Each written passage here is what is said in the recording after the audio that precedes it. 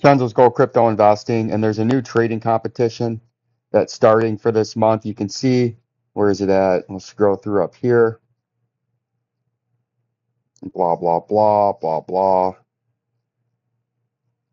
Uh, right here, future trading competition. Right, it's ten thousand dollars in prizes to be given away, and all you got to do is log in there. Right, you just tappy tap that, log in.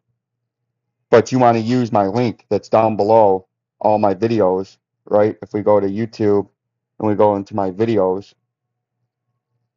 You can see on any random video, we'll pause, we'll pause that. You can see my link right there. Just tap on that little tap tap action.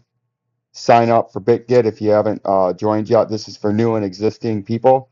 Use that link down below, and all you need is $100 in your account in order to enter the trading competition. And then you can trade the volatility in crypto, right?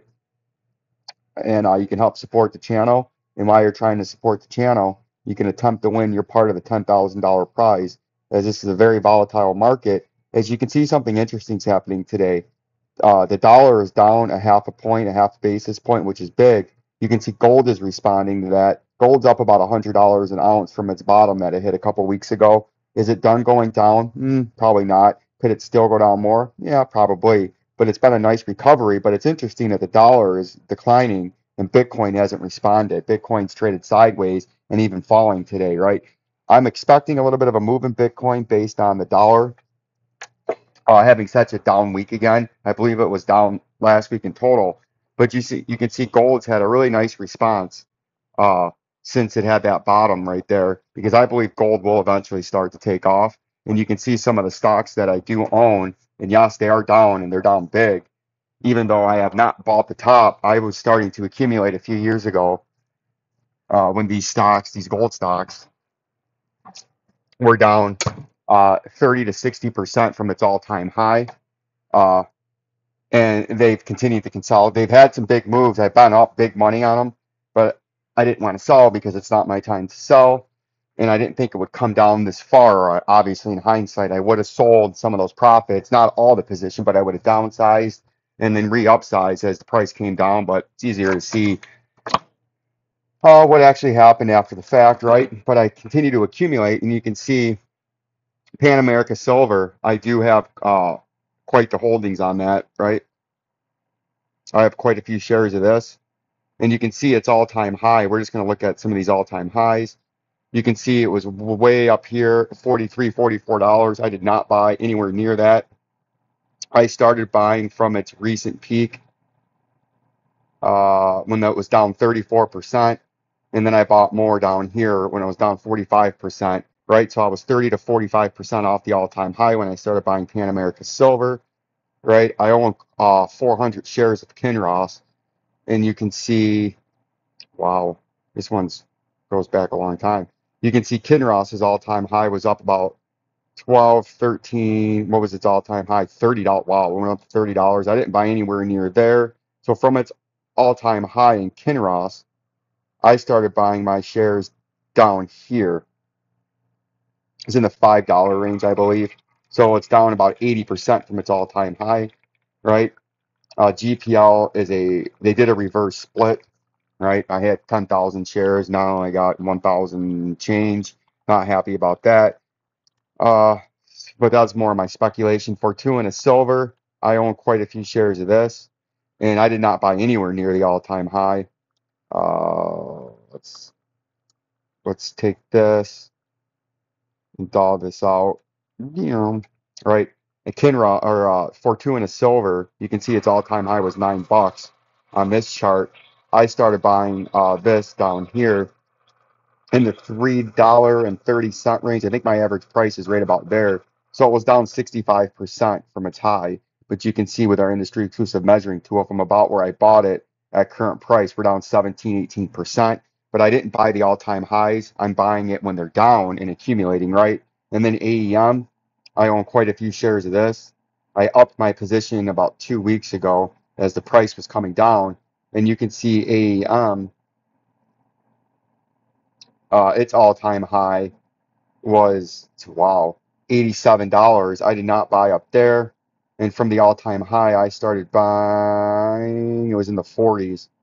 It was somewhere, somewhere up in the upper four. It was down about 40, 45% from its all-time high when I started buying. This is a little bit risky because this could be a mountain double top, right? And this could be a neckline. And if that is the case, you would do a targeted move from the top to the bottom the point of a breakout, and that would be a catastrophic. I would not like to see that. Uh, that would bring the price down all the way to about ten dollars into this white this white area, the support zone down here in the supply zone. Right, this is a major supply zone. If you broke this area right there, you got nothing to hold it up. It would trade into here really quickly. That would not be good for me because I got I think 25 shares of this, right, at forty dollars a pop. That's uh, quite a bit of money, but we're going to continue to accumulate because I do believe eventually the gold and silver price is going to start to take off. And as the gold and silver price starts to take off, the mining stocks accelerate to the upside. And uh, I hadn't buy any of these anywhere near, as you, I just showed you, anywhere between 30 and 40% from their all time, or 30 to 60% from their all time highs is when I bought. Uh, let's take a look at this. You can see my account has been getting hammered Uh, you can see we got 30 shares of AEM. We have 500 shares of Fortuna Silver.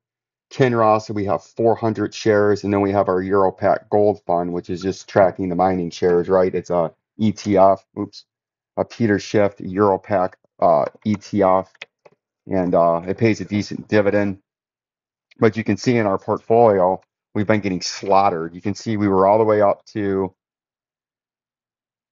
Uh, not too long ago, back in the great boom of April, we were all the way up to just under, just over 11 and a half, just 11.4 thousand dollars, 11,400 bucks our account got up to. And you can see we went on a moon ride from 60 something hundred. And in less than three or four weeks, we increased our portfolio by the stocks appreciating by about five, six grand really quick. And now you can see we've had a big fall we've had a lot of big ups and downs. You can see we had a big up here, then we crashed, right? Then we had a big up here, and then we crashed, and then we had a big up here, and then we crashed, right? So that's what's going on there. You can see it's just like a roller coaster.